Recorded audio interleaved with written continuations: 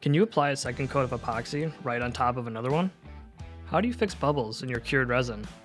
How do you recoat an epoxy project after it's been scratched? If you're working with epoxy, then you're going to need to learn how to apply a second coat to your project. Some projects require a second coat of epoxy as a part of the process. No matter what your reason, applying a second coat of epoxy is easy. Start by assessing your first pour. If your first pour has scratches or bubbles, we'll want to fix those before applying our second coat. Scratches and bubbles can easily be removed by sanding down your project evenly. Using an orbital sander or belt sander, thoroughly and evenly sand your project. Wondering what grit to use? Use the highest grit you can that will still remove enough material to remove the scratches and bubbles. If you don't know where to start, 120 grit is a great middle ground to test.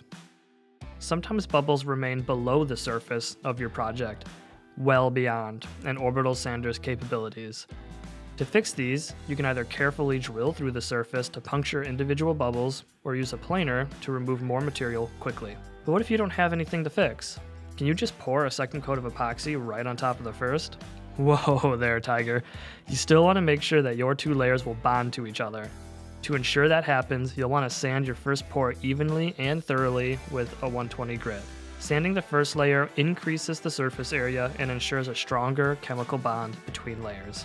It may look hazy and rough, but trust the process. That high gloss finish is on its way. Before mixing up your second batch of epoxy, make sure you remove all the dust from sanding. Isopropyl alcohol on a paper towel is great for this. Regardless of your method, make sure all the dust is removed. Otherwise, it'll affect your final result. However, if your project is discolored, a second coat of epoxy won't be helpful. You'll need to remove the entire pour and start over. No matter your reason, applying a second coat of epoxy is easy.